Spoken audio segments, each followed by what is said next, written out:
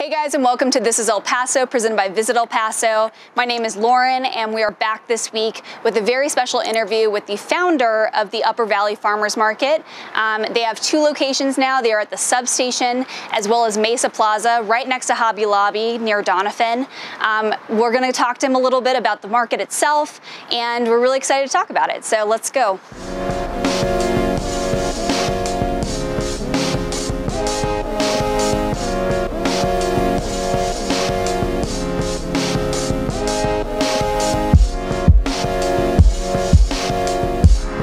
My name is Beto Hernandez, the coordinator of the Upper Valley Artists and Farmers Market.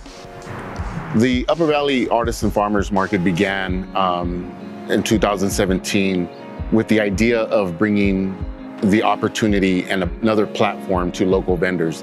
I myself was a local vendor at the downtown Artists and Farmers Market uh, selling t-shirts.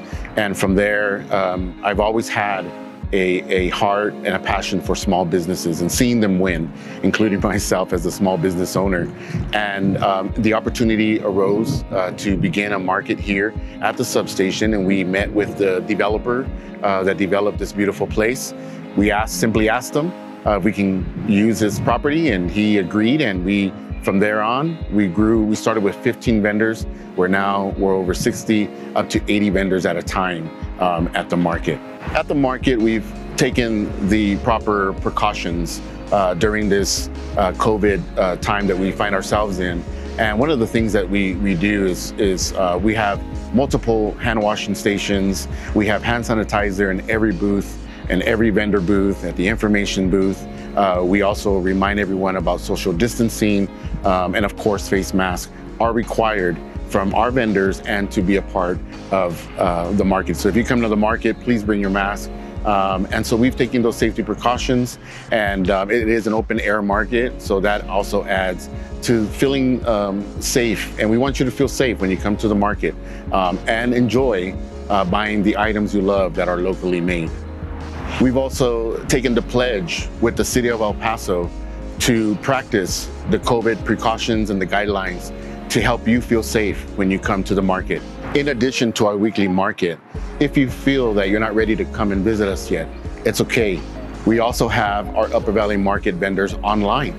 Simply go to uppervalleymarket.com and there you will find our, our, our, line market uh, available to shop your, with your local favorite vendor there. And so um, please visit us on, on the website as well. Our market hours are every Sunday from 10 a.m. to 2 p.m. currently. We are in our summer schedule. And in October, come out on Sundays from 11 to 3, and that's when we adjust our hours into our fall winter schedule. Dogs are allowed right now because it is summer. We encourage you to leave them at home uh, to avoid any any paw burns and such. Uh, but in October, when we are in our regular fall winter schedule, your dogs are more than welcome to come out. We love them. Um, bring them out, take them out for a stroll while you're here shopping local. We have some exciting events taking place at the market in the next few months. One of them is our third year anniversary happening September 27th right here at the substation from 10 a.m. to 2 p.m. Also, we have our Halloween market taking place October 25th um, at from 11 a.m. to 3 p.m. right here at the substation. And one of the newest things that we're going to be doing is on November 1st, we're having a Dia de los Muertos market and car show. That's going to be taking place at our second location, Mesa Plaza, on November 1st from 11 a.m to 3 p.m. And of course, we cannot forget Christmas. We have two Christmas markets that are coming up. The first one is right after Thanksgiving, November 29th from 11 a.m. to 3 p.m. Begin your, your shopping season with us, shop local for this holiday season. And then the last Christmas event we're having is called the Last Minute Christmas Market. There's a lot of last minute Christmas shoppers. We got you. Come shop local on December 20th um, right here at the substation from 11 a.m. till 3 p.m. Thanks again for joining us on This is El Paso, presented by Visit El Paso. Join us next week while we uh, visit another local spot. Um, come down to the Upper Valley Far Farmers Market. It's a really cool spot. You have a ton of vendors. I know I do a lot of my shopping there, a lot, a lot of local shopping.